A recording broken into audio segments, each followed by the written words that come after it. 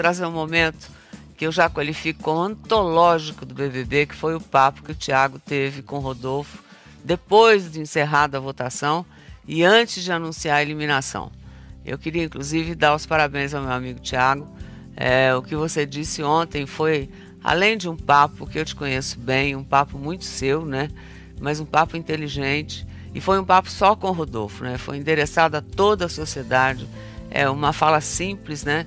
Que ensinou muito, muito a muita gente. Tenho certeza nesse Brasil grandão aí. Vamos rever. Pois é, eu quero aproveitar agora já com esse é, bendito aí pelo, pelo nosso amigo Tiago. Quero já falar com o Rodolfo. Bom dia, Bastião. Bastião ou Rodolfo? Bom dia, Ana. Tudo bem? Tudo bem, muito bem-vindo, viu, Rodolfo? Obrigado. Como é que você se sentiu naquele momento ali, até antes de saber quem era o eliminado e tudo? Aquela fala do Tiago, como é que repercutiu em você? Na verdade, Ana, não só naquele momento, mas a partir de quando eu realmente entendi que aquilo machucou, eu realmente entendi que aquilo causou dor, eu é, mudei minha opinião com relação ao comentário que eu fiz. Eu, eu já arrependi. Eu, eu sou o tipo da pessoa que detesta a sensação de poder causar dor em qualquer tipo de pessoa, você entendeu? Qualquer pessoa, qualquer raça, enfim, qualquer orientação sexual, detesto essa possibilidade. E quando, é, no primeiro dia, quando eu me apresentei lá na casa, é, para os colegas participantes, eu falei na minha posição de, de, é, de, de apresentação que provavelmente eu cometeria alguns erros é, em alguns sentidos que estão em alta hoje em dia e que eu ainda não tenho conhecimento suficiente. E infelizmente isso realmente aconteceu, de fato aconteceu. Acredito plenamente que aconteceu para o bem de muitas outras pessoas. É... Eu fui a ponte de ensino para muitas outras pessoas que ainda são desinformadas. É... Fico feliz, de certa forma, por ter. É... por estar fazendo parte disso, triste, lógico, de, de, de ser eu. Me pareceu ali, Rodolfo, que você já esperava, quer dizer, tá saindo do paredão. Quer dizer, você, o seu batimento cardíaco ali no momento, eu me lembro que eu estava assistindo, que era o mais, o mais normal, né? Tava ali no, numa normalidade 90, né? 93 e tal. Enquanto o do Gil tava no 130, né? Ele tava muito nervoso. Uhum. Você já esperava isso naquele momento, sentado, e você botar a sua cabeça naquele momento, naquela sala ali? Você achava Esperava e achei justo, Ana, porque realmente é um assunto muito delicado. É um assunto que, é, como eu disse, ele, ele veio à tona, eu infelizmente estou no meio dele, mas acho que realmente para o nosso país, para o mundo, talvez seria realmente injusto. Eu, eu, eu, eu costumo ser muito sincero e quando eu uso sinceridade eu procuro não usar só para com os outros, eu uso para mim também, você entendeu? Então, se tiver de, de pegar pesado, eu, eu tenho que pegar comigo também, assumir meus erros, enfim, pedir desculpa para quem tem que pedir, como eu sempre fiz lá dentro da casa, desde o começo, quando as pessoas me abordaram, ó, oh, está errado ó, oh, oh, não gostei disso. Enfim. É... E mesmo assim você foi pro paredão quatro vezes, né? Na primeira semana do jogo e mais nas últimas três, né? É... Foi. E voltar das berlindas anteriores te deixou muito confiantes, né? Vamos olhar um pedaço. É, você estava se sentindo fortalecido ali naquele momento? Né? Porque você ter ido né, quatro vezes, voltado, quer dizer, dá uma sensação de que. Como é que você enxergou esses votos, né? Desses paredões e daqueles que você voltou, é, que você participou? Ô Ana, é, o primeiro paredão, ele talvez não é um termômetro muito É verdade. De confiança. É verdade.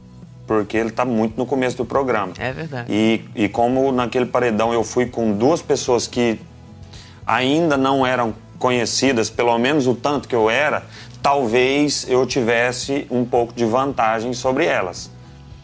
Eu não considerei é, aquela primeira volta lá é, como me dar confiança no, no, no quesito, nossa, eu tô bem. Mas os outros dois que eu voltei, sim, me deu um pouco de confiança até pelas pessoas que eu enfrentei no paredão e saíram, que foram a Carla e a Sara. São mulheres, são, são mulheres bacanas, são mulheres. Eh, enfim, a Carla conhecida. A Carla também conhecida. Bastante. É, muito conhecida. Sim, me deu uma certa confiança. Falei, cara, eu acho que eu tô no rumo certo. Agora, eu quero voltar, é, desculpe a insistência, mas eu acho que esse assunto é, merece um pouco mais de, de, análise. Eu acho que é o momento que a gente tem, inclusive na televisão brasileira, né? Uhum. E eu entendo a sua posição perfeitamente, tudo que você falou ontem, do que você está me dizendo agora. Mas é, eu vou voltar àquela imagem da menção que você fez em relação ao cabelo do, do João, só para a gente retomar um bocadinho esse assunto. É, na hora, na verdade, a brincadeira você não percebeu, né? Que na verdade. Não. E nem o João, pelo jeito, né? Naquele momento, ele chegou a falar isso depois. Ele é, conseguiu externar, né? Porque ele sentiu o golpe, mas o João é mais quietão, você conhece ele melhor do que eu, né? É mais introspectivo. A ali. própria reação que ele teve ali, revendo agora de novo, né? Eu, eu, eu, tive a oportunidade de rever mais cedo, aliás, ontem. E revendo agora de novo, a própria reação dele não foi de. É, de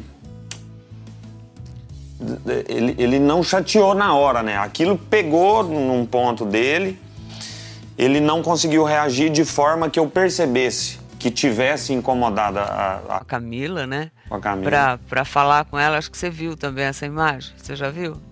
Eu vi. Ele conversando com ela e dizendo, enfim, Sim. o quanto ele estava e que ele não conseguia. Você sentiu que aquele recado ali era para você naquele momento? Zero, Ana Maria. Zero, Jura, zero, zero, zero. Jura, Juro. Rodolfo? Juro. Até, até eu ah. tive já é, comentários de pessoas que assistiram a, a minha reação é, de rosto e entenderam a, a minha. É, a minha a inocência, não, a minha. O, o, passar despercebido, sabe? Aquilo. Eu, eu tava curtindo demais da conta o show, continuei curtindo, não, não mudei nada, sabe? Não percebi a indireta, zero. E eu... infelizmente. Então, o que eu queria entender, na verdade, é, é assim, antes desse evento, na sua vida, do BBB, né, em geral, é você nunca tinha ouvido falar em racismo. Quer dizer, na, sua, seu, na, na, sua, na sua, eu entendo que você já falou várias vezes que você é chucro, que você veio. Eu tenho muitos amigos em Goiás, Goiânia, Mato Grosso. Enfim, eu sou, eu sou, sou do interior também, né? É, e sei como o povo do interior é simples, né? Venho de lá. É, e aí, mas hoje em dia, né, a gente tem um negócio aqui, né, que é, permite que a gente é, passeie pelo mundo, né, passeie pelas passeie pelas, pelas coisas importantes que dizem respeito ao ser humano, que dizem respeito ao respeito ao outro, né? Sim. E, então eu não entendo ainda, né, como você é, me dizendo que é chucro, né? Porque o pessoal de Goiás, né? Não é todo mundo em Goiás assim, né? Por mais que dizer, tem muita gente bem informada, mesmo nascendo na fazenda, mesmo trabalhando no campo, né? Hoje o campo está com tecnologia. Quer dizer, o mundo mudou, né? Faz algum tempo, Sim. já faz muito tempo. Então eu queria entender é, como é que você foi blindado dessas informações ao longo da sua vida, né? Você é um rapaz que é, canta, faz sucesso, você já tinha um milhão e meio de seguidores, né? No seu Instagram, é, agora está aí com 5 milhões e tanto.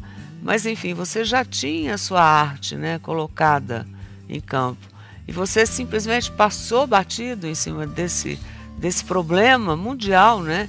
E no Brasil esse problema está sendo comentado em todos os, enfim, qualquer lugar, né? Você, enfim, a terminologia que você trata isso, tudo isso a gente veio aprendendo nos últimos anos para respeitar exatamente o outro, né? Sim.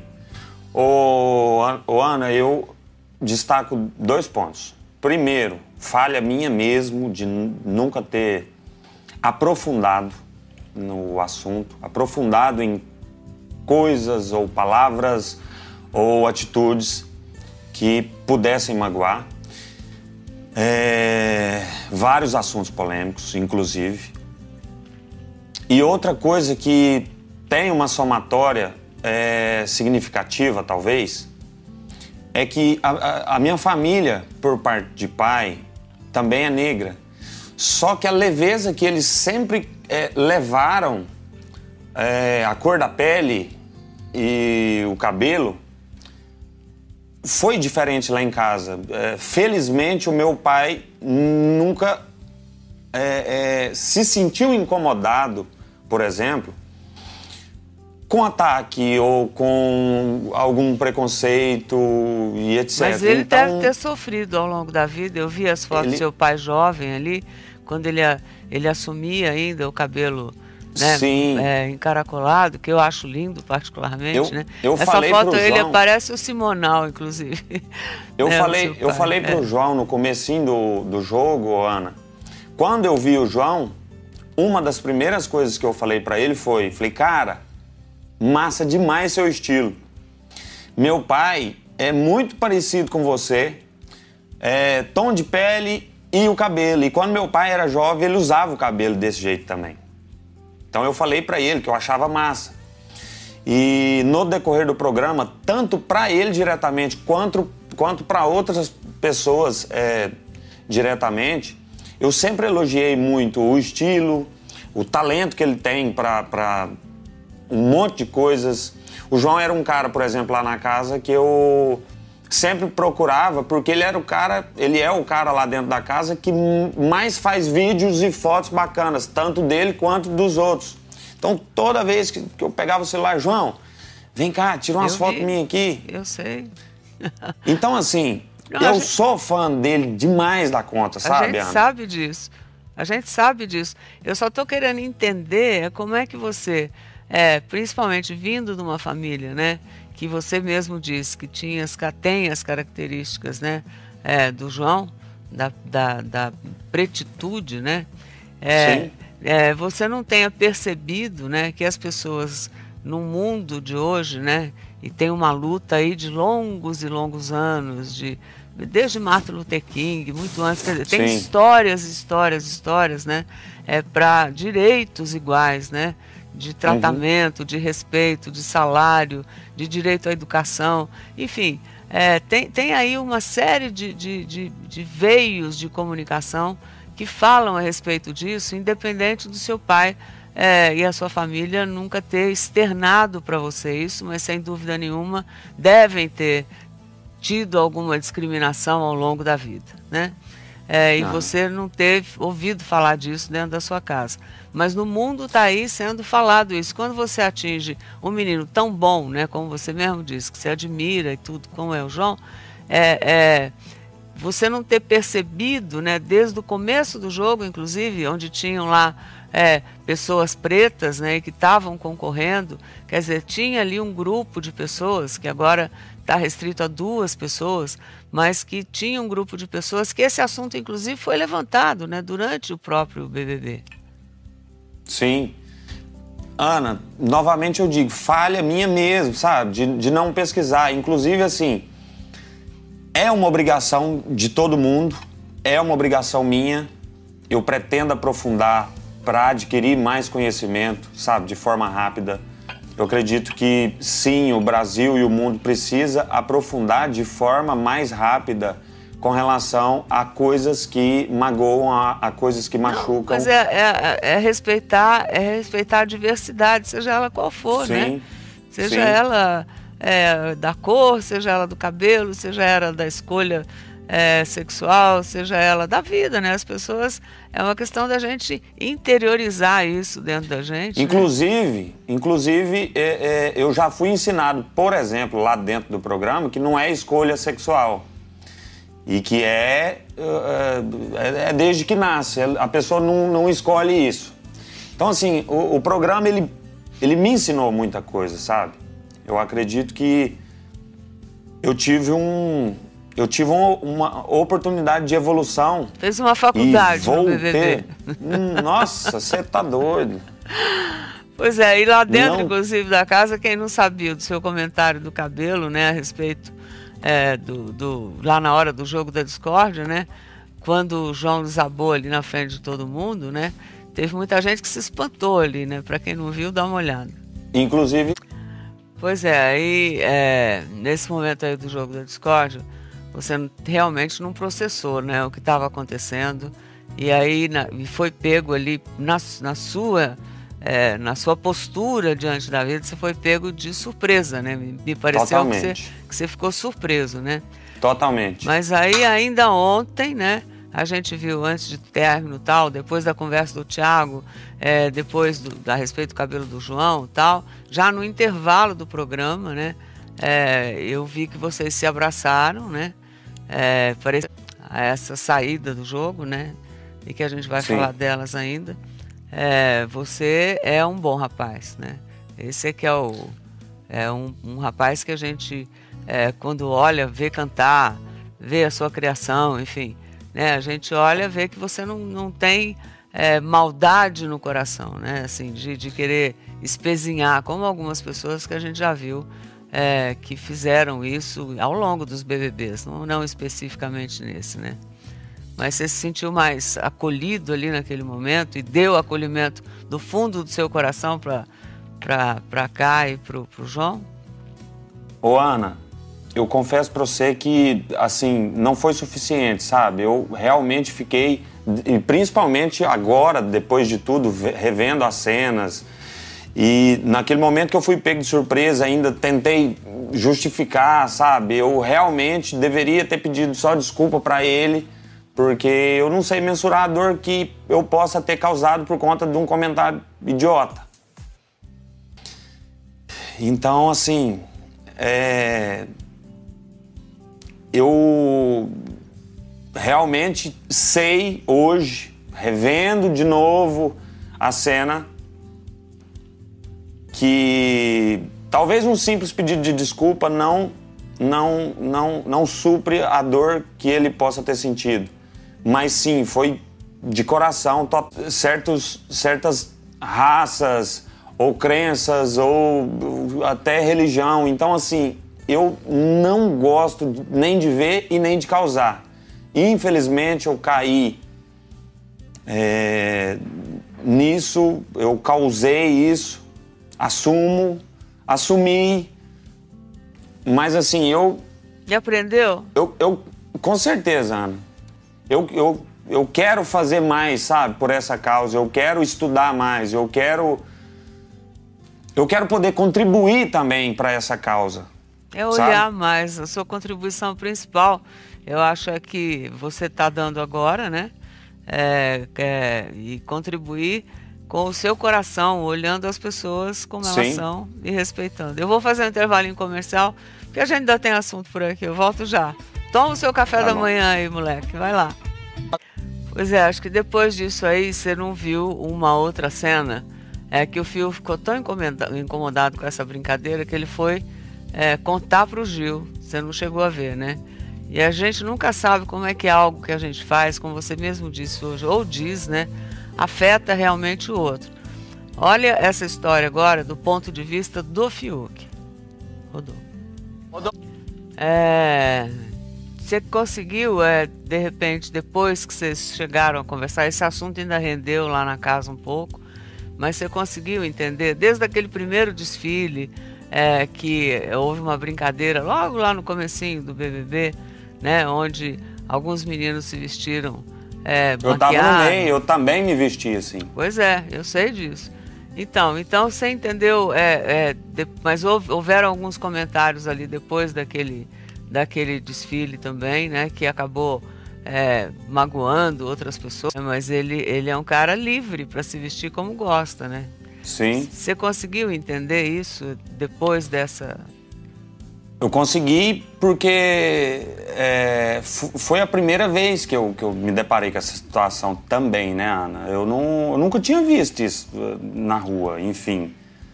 É, e realmente, e, e, aliás, principalmente lá em Goiânia, São Paulo Rio de Janeiro, por exemplo, são cidades que têm uh, uma maior facilidade de você encontrar isso. Olha, mas hoje em dia você vê por aí grandes cantores, inclusive com saia, se apresentando, cantores mesmo da sua área, né? É, tem pessoas que vão em programas de televisão, quer dizer, televisão não tem só no Rio e São Paulo. Né? A televisão tem, você trabalha na área de shows, inclusive, Sim. né? Você deve conhecer pessoas que é, se vestem, põem um, um, turbante, fazem, quer dizer, né? Tem gente, tem inclusive é, caras que vão é, com uma saia mesmo, como se fosse uma blusa e um, e um saião, né? É, fazendo, um, fazendo um estilo, né? Você nunca Sim. tinha visto? Não, pessoalmente não, não. Ah, não. Foi ah, uma foi uma novidade para mim. E novamente comentário desnecessário eu fiz. E você sentiu a repercussão disso? É, você acha que influenciou né, nessa última votação, quando de repente você tinha é, os outros dois adversários e um deles era o Gil? Quer dizer, Com tem, certeza. Não é? Você acha que também alguns votos. Somou né, vieram por conta disso, né? Com certeza somou. E como é que você olha isso hoje? Quando você falou, inclusive, que aprendeu lá a respeito disso.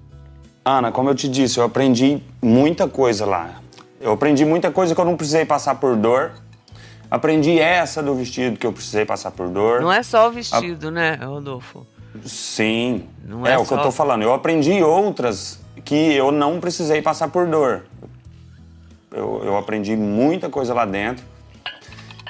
Antes de uh, eu cometer algo, ou comentar, ou fazer alguma piada sem graça, enfim. Aprendi muita coisa. O BBB foi realmente uma faculdade para mim. É, eu já, como a gente estava conversando no comecinho do programa, eu de fato tinha certeza que eu era um dos, um, uma das pessoas com menos conhecimento lá dentro.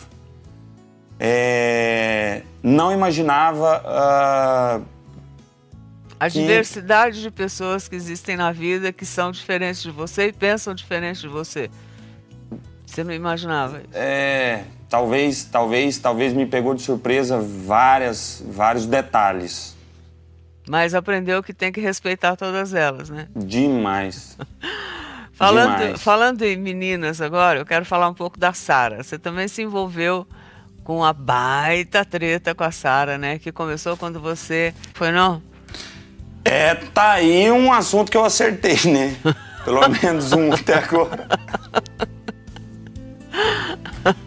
Nossa Pois é, senhora. é, olha, a Sara ficou tão decepcionada com você e o Caio, que ela não esperou nem terminar o programa ao vivo, já discutiu com vocês ali mesmo no sofá, né? Antes dos trabalhos terminarem, vamos dizer assim, né? Sim. E aí, você esperava essa reação da Sara? Eu esperava que ela fosse ficar surpresa, chateada, mas talvez nem tanto, porque com o Arthur eu virei pro Arthur e falei assim, Arthur, eu vou lá na porta do quarto do líder, porque eu não podia entrar mais, porque como eu tava de moça, eu tava na xepa. E só os VIPs entram no quarto. Falei, eu vou lá na porta, porque eu preciso tentar me salvar do paredão. Eu já sabia que vinha bomba pro meu rumo, já vinha bala pro meu rumo. Mas se você estivesse preciso... no lugar dela, que você teria reagido da mesma forma, o que você teria pensado? Ô, Ana, eu, eu teria feito diferente. É? No entanto, que tudo lá no programa meu foi, foram as claras. Por exemplo, voto da Juliette. Eu não escondi para Juliette que eu votei nela. Eu não tentei mafiar essa informação para manter uma amizade. Eu, eu não, não me sentiria bem, eu não colocaria minha cabeça no travesseiro e dormiria bem é, olhando dentro do olho dela e não falando que eu teria votado nela. Muito menos caso é, ela me abordasse e, e, me perguntasse. Ela me abordou, perguntou, eu falei, Ju, não teve como eu correr. Eu tive que votar em você porque eu sabia de outros votos em você, de pessoas que tiveram treta em você e não arredariam o pé com relação ao voto em você. Como é que eu vou dar um voto isolado nessa altura do campeonato, sendo que eu preciso me salvar do paredão, ou pelo menos tentar? Então, assim, é, eu agi dessa forma. Por exemplo, com a Juliette, eu não escondi dela, eu não mafiei essa informação dela, entendeu? Eu vou te mostrar já já, depois do intervalo. É, a Sara já saiu, né? Então ela esteve aqui, tomou café da manhã comigo. E aí, obviamente, você foi um dos tópicos da, do nosso assunto do aqui assunto. no café da manhã. Então eu vou te mostrar já já o que, que ela falou a respeito disso, tá? Volto já. Tá. Ando aqui com o café nosso, com o Rodolfo. Olha só o que a Sara falou sobre você e o Caio quando esteve aqui na semana passada. Ver, Rodolfo? O Rodolfo já tinha algumas coisas durante o jogo, eu sinto, sabe, assim, eu tava mais feliz ainda. E eu via que, tipo, o Gil também tava começando a se dar bem com ele. Pra mim, tava assim, nas nuvens, tava vendo todo mundo que eu gostava, juntinho, próximo, tava achando que era assim, já maravilhoso aquele momento. Mas o, o voto dele até que eu. Não, não naquele momento, não naquele momento, porque tinha muita gente. Mas eu imaginava que não mais pra frente ele pudesse votar em mim, porque eu sei que ele era muito mais jogador do que coração, amizade e tudo mais. Até, inclusive, sobre o próprio Caio, já fez comentários lá dentro que eu não concordava. Mas o Caio, para mim, foi um negócio que, assim, senhor. Tanto que na hora, dá pra ver minha cara na hora. Na hora eu, eu até virei, porque eu falei assim, gente, o Caio. Porque tinha como ainda o, os outros votos irem pra pouca. Tipo, mesmo que fosse pra defender o, o Rodolfo, ele não precisava ter ido. Então, ai, enfim, é muito louco para mim. Ainda tô digerindo isso tudo ainda. Você viu que ela saiu bem atrapalhada também, né? com todas as coisas. E aí eu quero emendar, enfim, não é nem questão de voto. É assim, que você é um rapaz que, é, além de bonito, né? E você sabe disso, não sou eu que estou lhe dizendo. Obrigado. Mas você foi muito, muito é, querido ali pelas meninas quando vocês chegaram, né? No, logo no primeiro dia, na primeira semana tal, né? E algumas delas, inclusive, né? É, inclusive a Sara, a Juliette, né? Fizeram algumas brincadeiras com você, né? É, como falando, você inclusive brincava, via nas fotos falando como ela era bonita e que se eu tivesse encontrado com ela lá fora, sem dúvida você ia pedir para dançar, para ser mais simpática aqui, é, ia ter uma relação boa, né? Mas no fim não aconteceu nada, nem Juliette, nem Sara. Quer dizer, o que, que é? Foi uma decisão sua, de repente, fazer um par né, com o Caio? Como é que foi essa história? Foi um par sem beijo na boca, né? é, mas muitos carinhos, né? Muitos carinhos. É, o, o Caio, desde o, desde o primeiro dia do programa, a gente se deu muito bem. É, Ana, com relação a isso, eu. Você tem uma namorada definido... aqui fora? Demais. Você tem, não, você tem uma namorada aqui fora? Demais? Não, Quantas? não, não, não tem, não tem. Não, não, eu, eu, entendi que você perguntou se eu quero uma namorada. Não, também isso, mas enfim, você não, você não entrou tendo uma namorada no jogo, foi isso? Não, não entrei zero. Eu não, eu não, eu não tenho é, rabo preso aqui fora, não entrei zero rabo preso. E com relação a relacionamento, eu entrei com a ideia de se eu entrar lá e eu apaixonar de fato, eu apaixonar por alguma pessoa, eu vou me relacionar. E aí eu vou me relacionar ah, de cabeça. Agora, Não ficar bateu? por ficar ou brincar com alguma com sentimento de alguma mulher, eu não estava afim e não, não, não ia fazer isso de, de forma nenhuma. Quer dizer, entendeu? ninguém ali bateu no seu coração. Não, não, não deu aquela pancadona, não.